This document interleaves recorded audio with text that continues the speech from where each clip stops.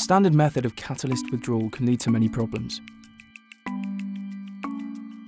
It's not only the hot abrasive catalyst moving at high velocity through the pipeline, causing erosion, and ultimately leading to hot catalyst leaks and personnel exposure.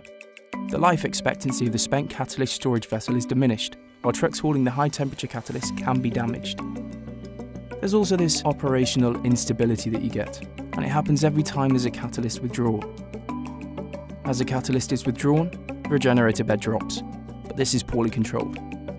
So the pressure spikes, temperatures increase, carbon monoxide levels go up, catalyst circulation worsens, so of course this leads to coke combustion issues.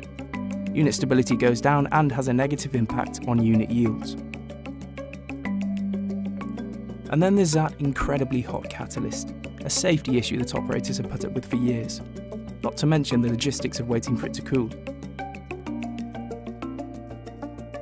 we wanted to return stability to the system, to substantially improve yields and improve safety. So we designed the continuous catalyst withdrawal system to solve all of these issues.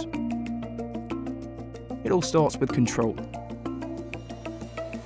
The controller uses highly sophisticated logic that precisely controls withdrawal rate.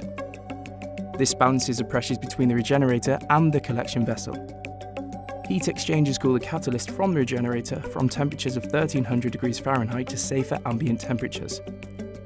The catalyst travels at a safer velocity which minimises erosion. Everlasting valves are used to ensure long life in abrasive catalyst service.